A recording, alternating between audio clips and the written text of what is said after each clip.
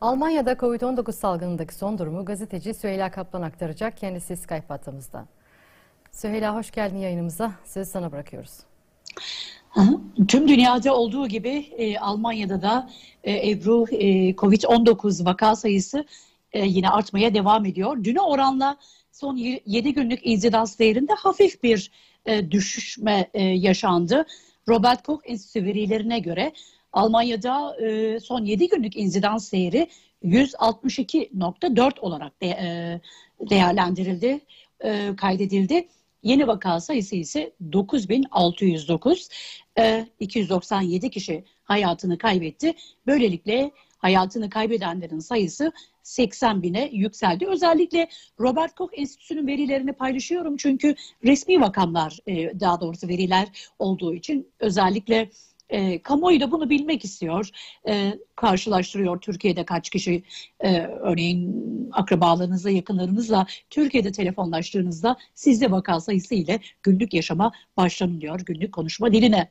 Bu nedenle önemli. E, Almanya'da e, enfeksiyonla koruma yasasında, mücadele yasasında e, yasa tasarısına ilişkin görüşmeler e, yarın e, federal meclise gündeme gelecek. Genel kurulda oylanacak. Oylandıktan sonra eyalet temsilciler meclisine verilecek. Daha sonra eğer kabul edilirse, çoğunluk sağlanırsa Cumhurbaşkanı onaylayacak ve tasarı kanunlaşacak. Özellikle inzidans değeri konusunda bazı tartışmalar var.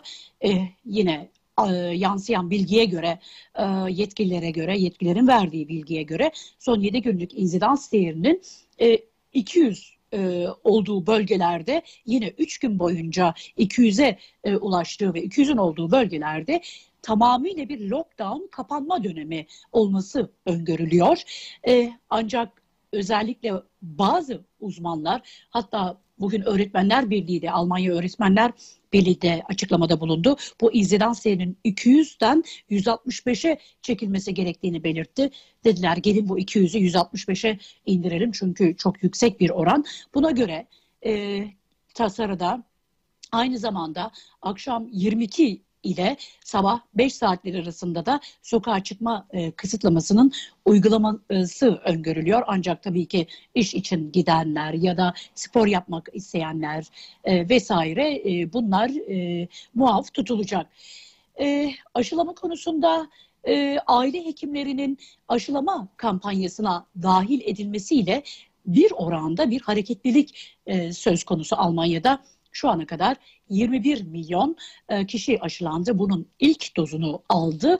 5 e, milyon kişi ise daha doğrusu 5 milyon kişiye ise ikinci doz aşı uygulanmış oldu. Almanya'da e, Johnson Johnson aşısı 19 Nisan'da gelecekti ama tıpkı AstraZeneca aşısında olduğu gibi bazı yan kan pıhtılaşması gibi nadir de olsa vakaların olduğu belirtilerek Amerika Birleşik Devletleri'nde durdurulmuştu. Bugün Avrupa İlaç Ajansı tarafından da söz konusu be, e, bulguların, deneklerin e, incelendikten sonra Johnson Johnson devam mı sevkiyatı gerçekleşsin mi? Bu konuda bir karar vermesi bekleniliyor Avrupa İlaç Ajansı EMA tarafından. Bu arada 50 bin doz aşı alınacak Avrupa Birliği'ne e, özellikle BioNTech e, aşısı e, e, ABD'ye e, e, Avrupa Birliği'ne sevkiyatı e, gerçekleşecek. bunun için bir açıklamada bulunuldu. Yine Alman haberlerine yansıyan bir habere göre örneğin Der Spiegel'de aşı için bazı Alman vatandaşların Rusya'ya gittiğini belirtiliyor. Haber gazetenin internet sitesinde yer alan habere göre bazı e, Alman vatandaşlar özellikle turlar üzerinden e, Rusya'ya giderek e, Rus aşısı oluyorlar. Örneğin bunun için e, 999 euro otel konaklamanın e, e, yanı sıra 330 euro da e, aşı için gidildiği belirtiliyor ve ikinci doz içinde orada kaldığı belirtiliyor. Yani bu sadece bu şekildeki haberler e, Türkiye'de e, çıkmıyor. Alman basınında da bu tür haberlere yer verildi. Yine aynı şekilde çok ilginçtir ki e, yine Alman medyasında yer alan haberlere göre e, aşı pasaportu çalındı. E, aşı olunurken bir aşı pasaportu e, çıkarılıyor.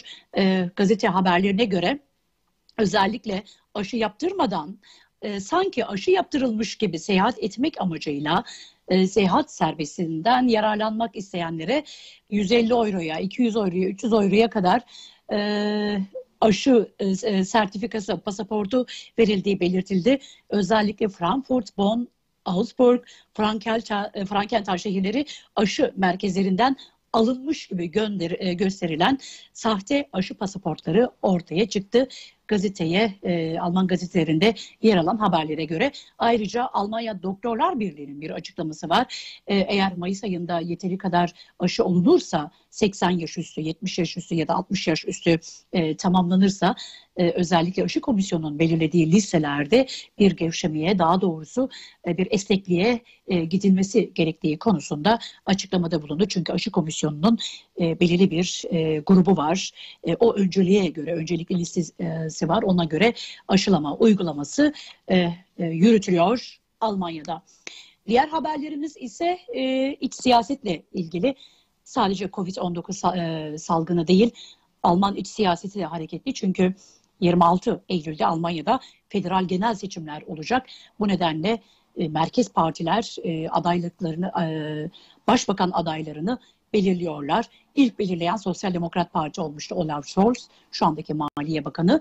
E, ve bugün de e, merkez e, Merkel'den sonra yani 2005 yılından sonra Merkez Sağ Parti CDU'nun ilk kez başbakan adayı bugün açıklandı. Hayli çekişmeli geçti. İki aday vardı. Ee, biri e, Bayan eyaletinin başbakanı Zöder, diğeri ise Kuzey Ren Vesfalya eyaleti başbakanı, aynı zamanda CDU genel başkanı. İkisi arasında e, çekişmeliydi.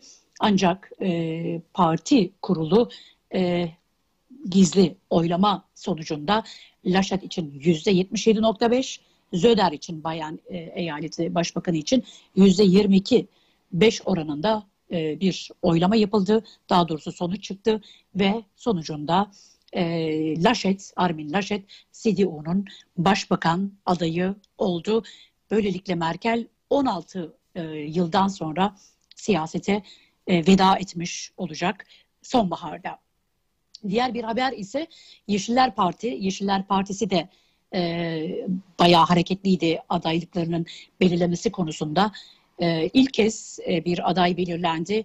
Yeşiller Partisi çok ilginçtir ki e, yaklaşık 40 yıldır e, e, Almanya siyasi tarihinde arenada e, olan Yeşiller Partisi adayını e, belirledi. Bir kadın aday Annalena Baerbock oldu.